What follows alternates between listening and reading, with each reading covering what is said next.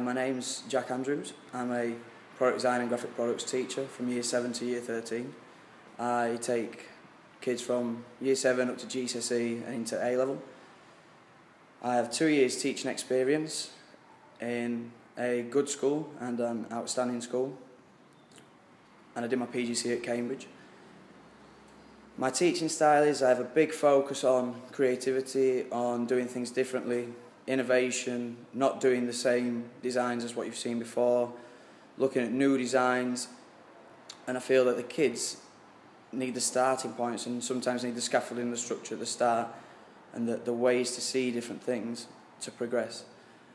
Now, I'm about to show you just a couple of the projects that we've done for a lighting project in GCSE, based on different concepts, and hopefully you can see some of the creativity that's involved.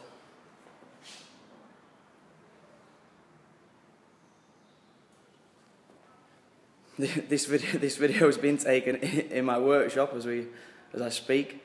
Um, I hope that you see this profile and you click to book me as a tutor and I look forward to working with you in the future. Thank you very much.